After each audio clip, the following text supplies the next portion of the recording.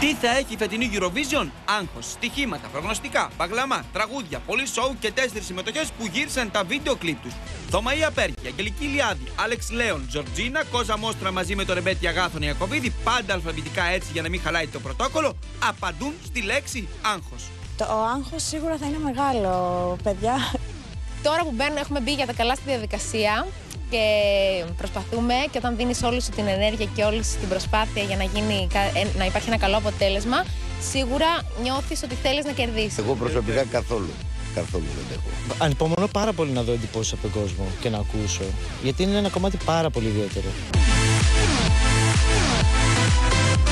Φυσικά αυτή τη χρονιά έχουμε και στοιχήματα για τον ελληνικό τελικό. Και ποιος, ή ποια, ή ποιοι θα κερδίσουν.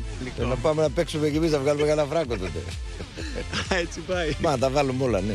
Εγώ έχω παίξει λεφτά σε άλλους πάντως. Σε ποιο μόνταλ, ε, δεν μπορώ να σου πω, δεν έχω παίξει σε άλλους, οπό- οπότε άμα δεν πάμε, τουλάχιστον θα έχουμε βγάλει λεφτά.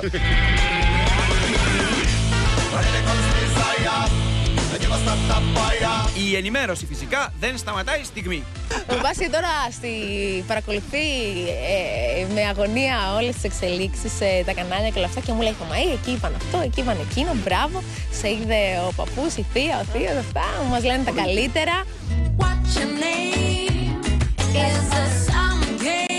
Η Αγγελική Λιάδη τώρα, αν και πιο έμπειρη, δεν έχει πρόβλημα που δεν της έγινε απευθείας ανάθεση. Το αντίθετο. Εμένα Σε γενικά μια δεν μου αρέσουν οι χαρακτηρισμοί. Ε, νομίζω ότι και εγώ έχω πάρα πολύ δρόμο μπροστά μου και πολλά πράγματα να κάνω ακόμη. Ε, αλλά θεωρώ ότι η κίνηση αυτή του να υπάρχουν τέσσερις υποψήφοι είναι πάρα πολύ σωστή.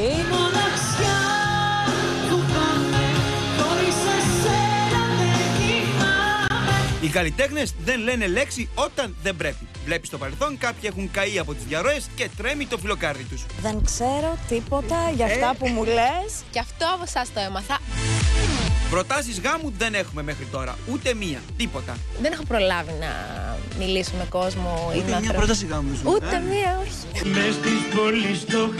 Άσε που χάσαμε και την τούμπα του Αγάθωνα. Ε, αυτό είναι πλάκα που μπορώ να κάνω εγώ τούμπα. Ούτε χαριλάω δεν μπορώ να κάνω και τούμπα. Ο Ρεμπέτη, ο μεγαλύτερος ηλικία της βραδιάς, κάνει και μία ιστορική αναδρομή. Μετά χάρηκα κι εγώ που πήραμε, πήραμε το Euro στην Πορτογαλία. Πήραμε πρώτη θέση. Τα πάντα πήραμε. Μετά βέβαια μπήκαμε μέσα με τα τσαρούχια.